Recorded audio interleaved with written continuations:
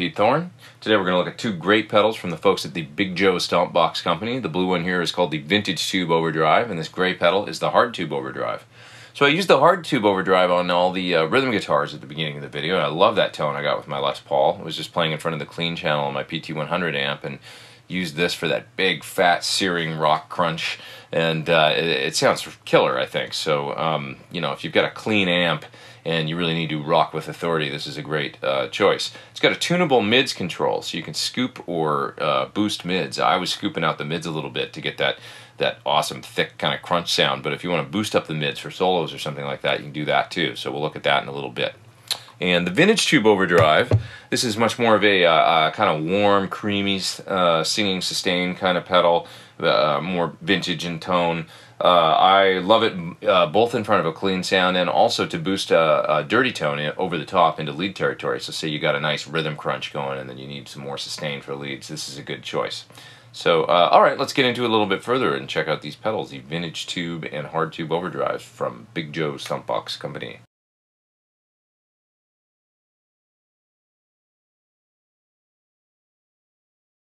Okay, so let's start off with the vintage tube. You've got controls here for presence, drive, output, and then a two-position switch that's labeled shape. When it's in its lower position, you've got more lows.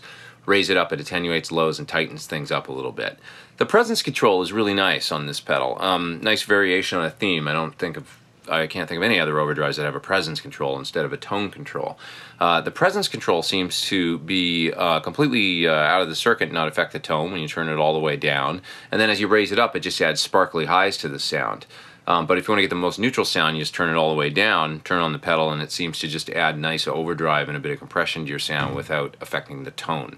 Okay, so I'm going to show you what I mean. I'll start with the presence all the way down, uh, gain's a little below half, output is just above half, and I'm going to use the pedal to just add a bit of drive to my bass clean sound, which is this. Okay, turning on the vintage tube.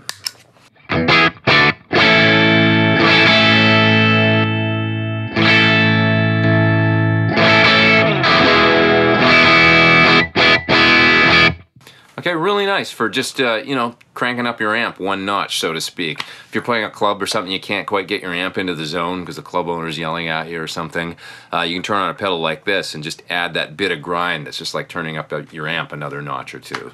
And it's nice and transparent.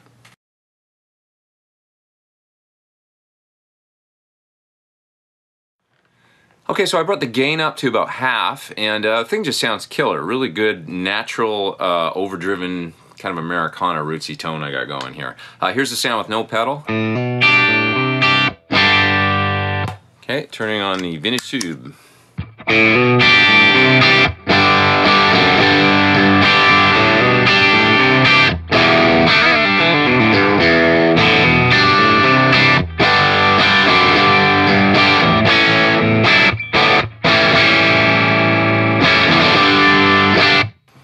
really nice and natural sounding, very fat sounding. Uh, so when I flip the uh, shape switch, I want to hear uh, what that does.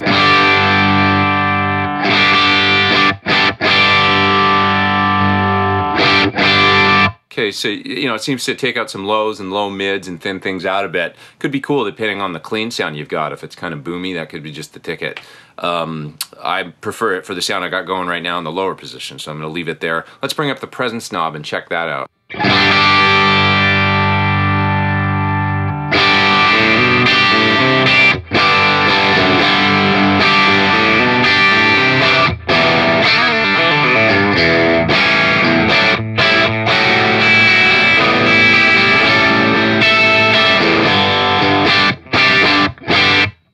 Okay, so I got the gain up around six or seven on the pedal now, and it keeps sounding great, even piling the gain on. Sounds really good.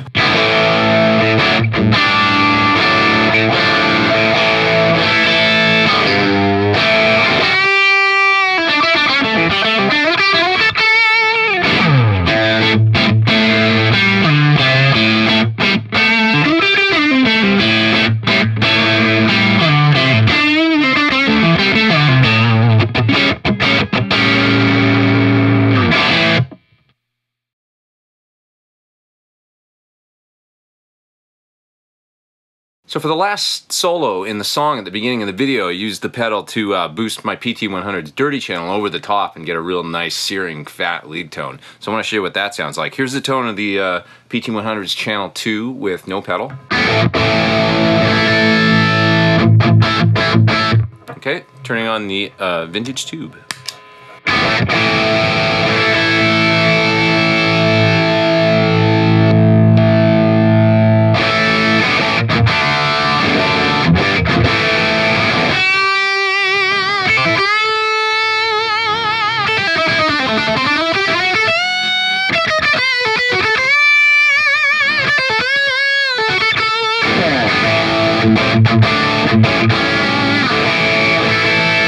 It sounds great. It's real searing. Um, I, I, love that. Uh, it's exciting sounding. Um, so I, for this tone, I've got the switch in the upper position because um, notice what happens when I switch it down.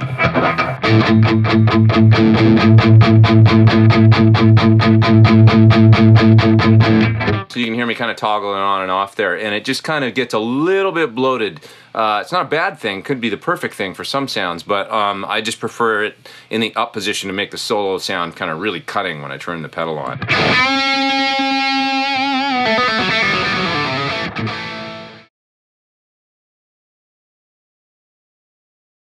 Okay, let's check out the hard tube now. This pedal is all about turning any puny clean tone into a wall of raging stack amplification. So uh, I'm going to show you uh, the kind of tone I had it set up for at the beginning of the video first. Here's my clean sound. Turning on the pedal.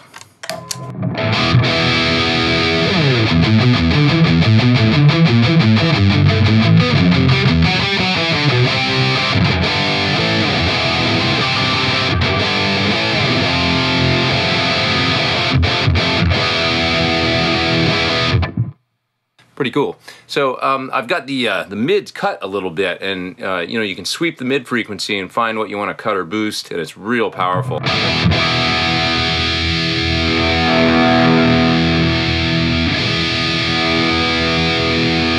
So with the mids cut, you kind of get that, you know, I don't know, like early Metallica thing.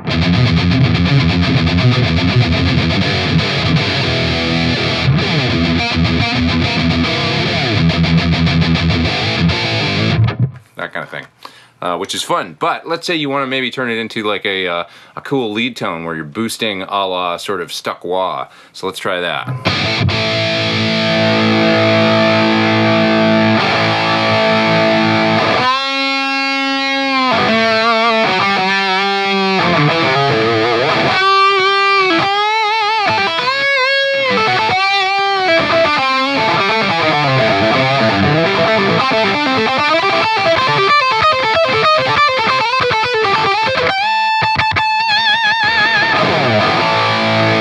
So this pedal obviously excels at real high gain, uh, kind of modern uh, distorted guitar tones, but I wanted to turn the gain way down and see if I could get a, a, kind of like a vintage British sort of amp sound out of it. And what I discovered was it does a, uh, a sort of a faux Boston sort of guitar sound really well, Boston the band. So check it out.